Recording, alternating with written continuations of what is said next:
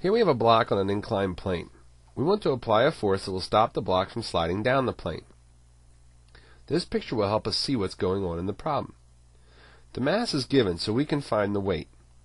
Next we want to break the weight down into its components that are parallel and perpendicular to the plane. Since Wx is causing the block to slide down the plane, we will have to apply a force equal and opposite to Wx.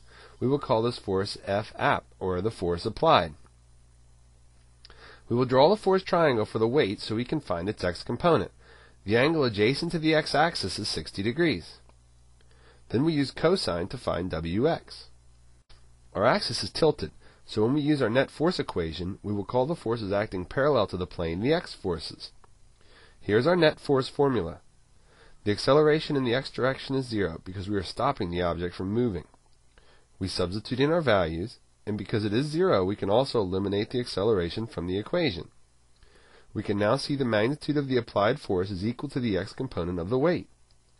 After substituting in our values, we find that we have to apply a force of 122.5 newtons up the inclined plane to stop the mass from moving.